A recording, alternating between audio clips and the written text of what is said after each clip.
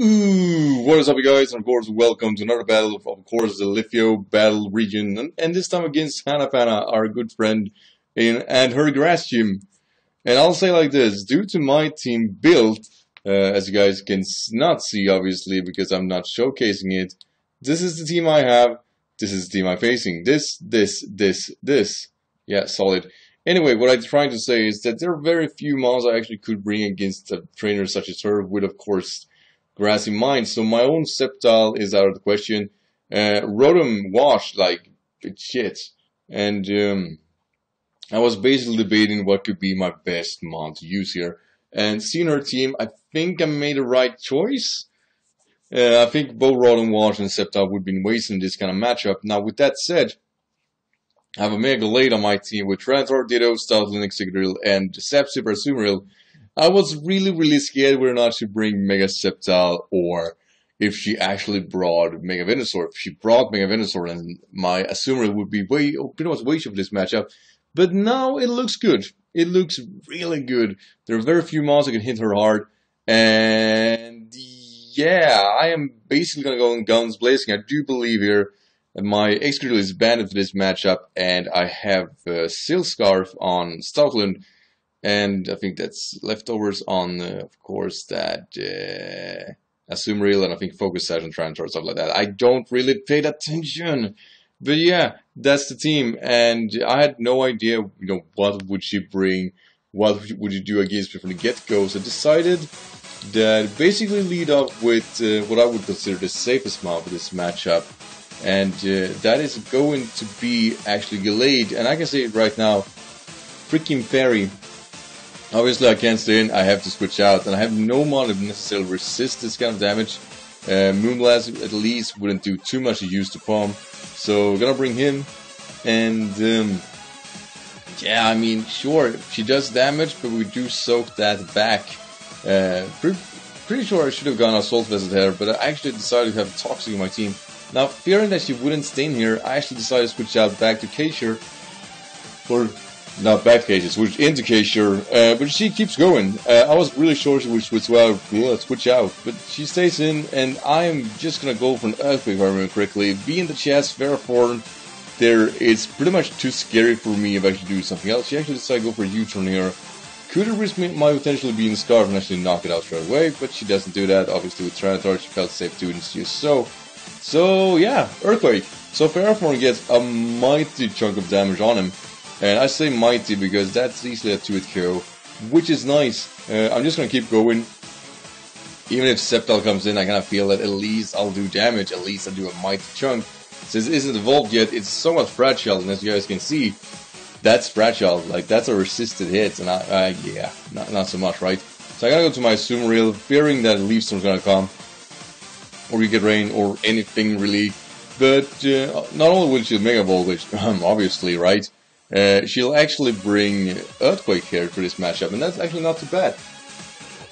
Because that does... Oh, shorting, perfect. Uh, that does hurt me. Um, it not doesn't do too much, but at least, you know, there is a significant damage from there. Uh, and the thing is, I actually wanted to use Ditto for this matchup. I actually wanted to snag her Sceptile. But my biggest issue is here that Whimsicott is healthy, and there is really nothing to do about that. I do think, yeah, I went directly for Ice Beam thinking she would attack me. As you guys can see, that's, nope, that doesn't really do a whole lot of damage. And that is bad. That is really bad. I was really hoping for something. I could have gone for Skull, but I didn't really want to risk it. So I'm going to go for Rex here. Basically, my idea here is to at least set up the sand in motion and then ensure that something can outspeed. So it doesn't necessarily gonna fear the, what do you call him, the Whimsicott. Yeah, focus setting that one. How about that? So anyway, I go for flamethrower here, which is nice. Um, kind of overkill thinking about it. But it was my safest hit, really, and there is not a whole lot of monster coming on it safely. So she'll bring Sceptile here. I was feeling, alright, I can bring Stoutland. She's going to go Earthquake, knowing that Azumarill is going to come in. And she goes for Focus Blast, but I am so extremely lucky Joining again. I can't re-record this, guy. Anyway, uh, she missed the focus blast. That's huge.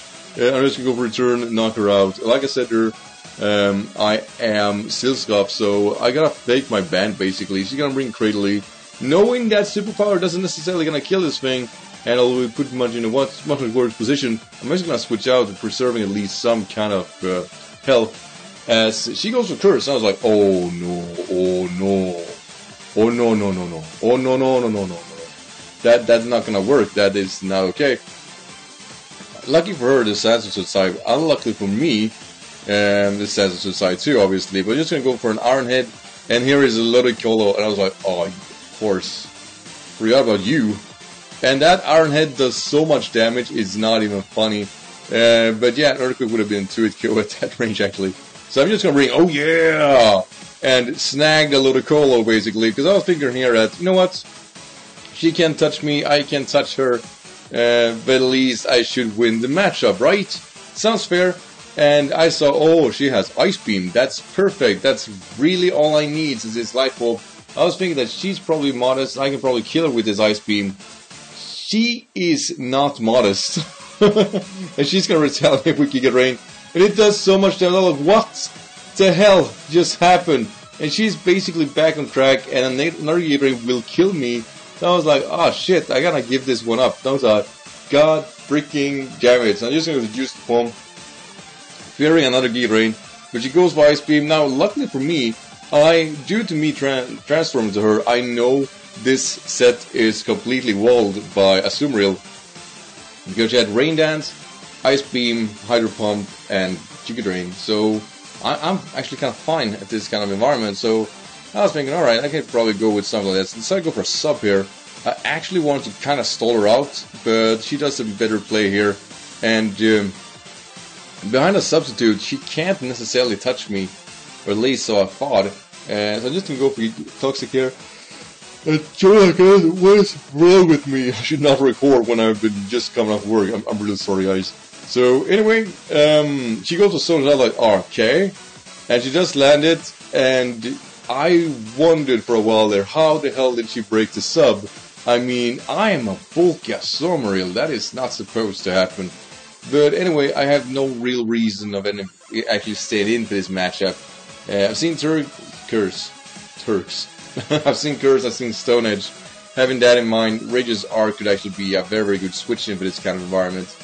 But she'll like to switch out to her Whimsicott and the thing is here, I was feeling that I can't bring Excadrill I simply can't. So I am kind of risking it and actually Mega Evolve with of course Gallade. But at the same time, I really have to take this risk. So I decided, let's go for Ice Punch, that should kill her. She stays in Ghost and Moonblast, which is unfortunate because it does so much damage, like so much. But unlucky for me though, I am not able to kill her. And I mean, that is some bad shit because if she's offensive set, I actually have an 89% chance of killing her. So that was unfortunate, not gonna lie. So I decided to actually kill her with Sandstorm instead. I was thinking I was kind of bit smarter, kind of, kind of better. But uh, yeah, the Moonblast would go on here, and it actually does a good chunk in a way. Oh, why can't? It is four times I'm joining. so anyway, I'm gonna kick the Whimsicott out of the way, and now we get to the end game. So Ludicolo is gonna come in, fearing that she probably gonna go for rain dance here, I actually decided to go for a thunder wave. And you know that's fine, right? You know that that's not a bad call. That that's how you do it. But then then I go completely dumb and go for flamethrower, thinking I do neutral damage. I should kick her out barely, but I should kick her out. But of course on rain this is not gonna do anything. And I was like, ah, ah, ah, dear lord. It, she does miss the hydro pump though, so you know I do a mistake and I am lucky to survive it. Uh, and then I'm gonna snag it. Oh yeah! I was thinking, all right, let's sweep her with her own Ludicolo. You know, this is this is what we're made for. You set the rain in motion, I sweep. That that's that's the deal, and she gets fully paralyzed. So that that's okay, right? I can lock myself in the ice beam. I don't necessarily have to fear anything. And then I remember, she still has Breloom, right? Yeah, Breloom and Cradle Leads. I'm like, oh, don't do this, Hannah. Don't do this. No! No! No Mach Punch! No! Sucker! no! Should probably switched out there, just sacked uh, Tyranitar really. But you know, it is what it is. I'm bringing, of course, Tyranitar this time. And uh, seeing that Mach Punch is her only way to set things in motion, I actually decided to, uh, I think I decided to sack uh, him here basically because I kinda can't switch out. Uh, no, I actually do. Oh, that that is ballsy. That is ballsy, Chris. So goes it goes to use the pump. Why did I do that? Alright, never mind. Um, obviously, though, I can't really do too much to Lead, but that falls on her too. Uh, but at the same time, she can start cursing up, and I kinda know that um, her moveset has to be recovery and stealth rocks. That's the only set I've seen. So knowing that, I'm gonna switch, or feeling safe, I'm gonna switch out to, of course, the mighty, mighty Kaysher, or of course, Excadrill. And basically lock myself into Ironhead. She'll go for a curse. It's really not gonna matter because I'm still an adamant Excadrill, and that is not something you can touch. And, um, yeah. At this point, I was kinda debating, you know, what do I do about the Breloom? It should be oh, Sash, right? There, there are things in motion here I can't, uh, I can't withdraw with. But then I like checked my rolls and I was like, all right, Stoutland can actually take a hit if it comes down to it. Use the Palm can take a hit if it comes down to it. Uh, and of course, Gallade can take a hit if it comes down to it with, of course, Mach Punch. Though, uh, with uh, Gallade, it's kind of more of a 40-60 situation, it's not as safe. But luckily for me, though, um, we break the sash if you wears it, which is kind of what we wanted to with the sand in mind. And Stoutland, like I said, is able to take a Mach Punch. Luckily, she doesn't get a crit there because it still does a lot of damage, but it's not a killing hit. But return, of course, with Silk Scarf will. So GG Hannah, that was like a really, really fun game.